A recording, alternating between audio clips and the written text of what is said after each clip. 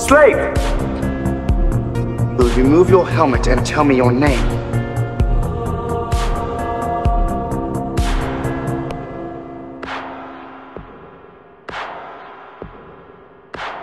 My name is Maximus Decimus Meridius, father of the armies of the North, general of the Felix Legion, loyal servant to the true Emperor Marcus Aurelius,